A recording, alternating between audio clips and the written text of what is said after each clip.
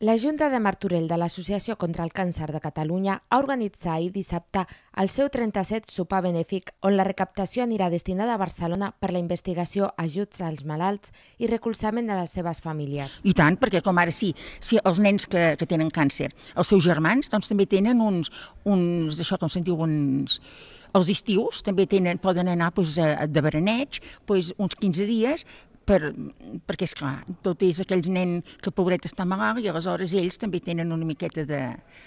de cosa, de dir, a veure, a mi no em fan res, doncs també els donen una mica de, de suport. Prop de 220 persones han col·laborat en un sopar que va tenir un preu de 45 euros, a més de participar en una rifa on els guanyadors, després de la compra prèvia dels bolets, rebien un lot d'articles donats pels comerços locals a més d'empreses col·laboradores. Pues per guanyar algun cagaret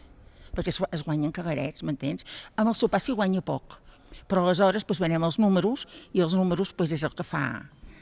el que guanyem. Al sopar va assistir el reconegut doctor Manel Esteller, investigador que treballa a la lluita contra el càncer, director de l'Institut d'Investigació contra la Leucèmia Josep Carreras i president de l'Associació de Barcelona. La Junta de Martorell ha arribat a recaptar 20.000 euros anuals a través dels seus actes i sopars benèfics. Recordem que el proper 19 d'octubre es commemora el Dia Mundial contra el Càncer de Mama i l'associació seguirà lluitant per recaptar diners per a aquesta lluita.